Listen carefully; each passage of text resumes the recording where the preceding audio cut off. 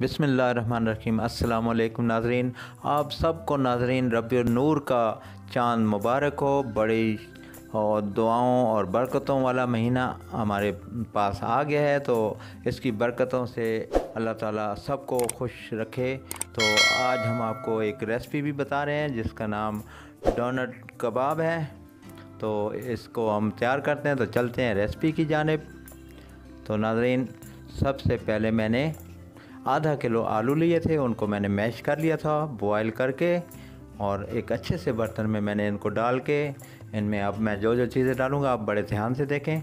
ये कटी हुई हरी मिर्च है, और ये चॉप किया हुआ प्याज, ये दड़ा मिर्च, एक टेबल स्पून और इसी तरह ये धनिया, इसको मैंने थोड़ा सा हल्का सा कूट के, ये देखें, ज़्यादा इसको ब्रीक नहीं किया, क्योंकि इसका एक अपना ही मज़ा होता है। ऐसी चीज़ों में और ये है पीसी मिर्च एक टेबल स्पून उसके बाद ये अजवैन है, ये भी एक टेबल स्पून है और ये, इसका भी बड़ा अच्छा फ्लेवर आता है।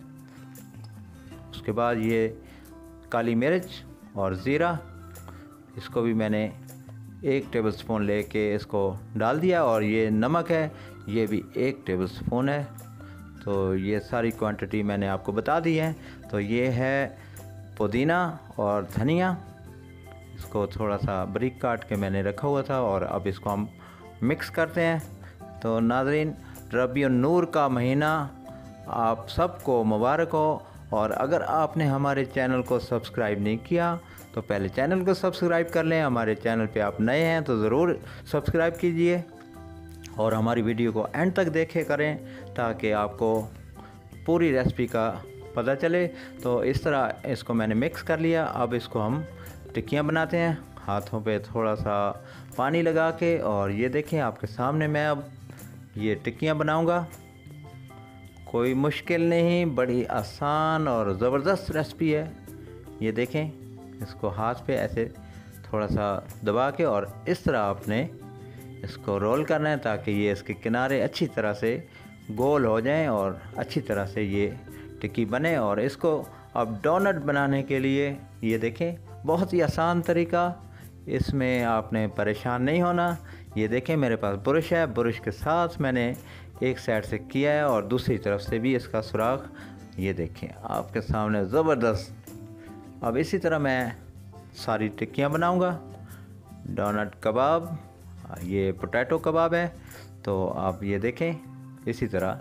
ये कोई मुश्किल वाली बात नहीं है, बहुत ही आसान है, इसको आपने ज़रूर ट्राई करना है। ये देखें जी, ज़बरदस्त।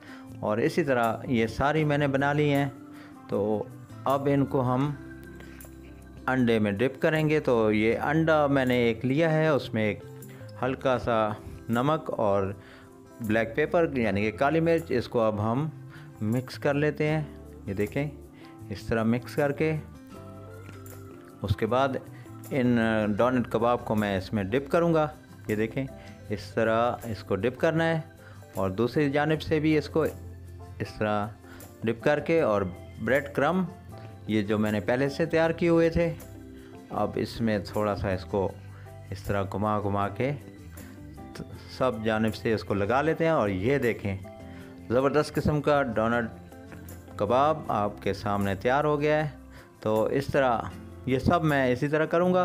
तो आप देखें, फिर इसके बाद नाजिन इसको हमने, ये थोड़ा सा सुराख इसका बंद हो जाता है तो फिर उसको आप एक बार फिर ब्रश के साथ तो ये देखें, सारे डोनट हमारे तैयार हो गए हैं। तो अब इनको हम फ्राई करेंगे। फ्राई करने के लिए मैंने ऑयल गरम किया हुआ था तो ये देखें आपके सामने, एक और ये दूसरा भी डाल दिया है। बस ये तैयार हैं। वैसे हल्का सा इनको ब्राउन करना है। इसमें इनको ज़्यादा ब्राउन नहीं करना। ये ऊपर हल्का हल्का ऑयल आपने डालना है तो ये इसकी साइड चेंज कर लेते हैं। ये देखें, अगर लो फ्लेम पे आपने ये इसको फ्राई करना है, क्योंकि ये पहले से तो तैयार हो चुका है सारा तो अब इसको हम उतार लेते हैं। ये देखें, ज़बरदस्त। और ये दूसरा भी। माशाल्लाह, ये हमारे डोनट तैयार हो रहे हैं आपके सामने। हल्का हल्का आयल इसके ऊपर डालते रहें ताकि ये पक जाएँ। और ये देखें, हल्के से ब्राउन हो गए हैं तो अब इनको भी हम निकाल लेते हैं। माशाल्लाह, ज़बरदस्त। ये आपके सामने एक एक करके मैं सारे निकाल लेता हूँ। तो ये सारे इसी तरह, माशाल्लाह, नाजरीन, मैंने तैयार किए हैं। तो अब हम फाइनल लुक की तरफ़ चलते हैं। ये देखें, ये हमारे डोनट मुकम्मल तौर पे तैयार हो के आपके सामने, और इनको अब आप चटनी के साथ खा सकते हैं कैचअप के साथ खा सकते हैं। तो नाजरीन, इसी तरह आप हमें लाइक करते रहेंगे, हमें देखते रहेंगे तो हम आपको नई नई वीडियो पेश करते रहेंगे। आइंदा वीडियो तक गुल चाचा को इजाज़त दीजिए। अल्लाह निगेबान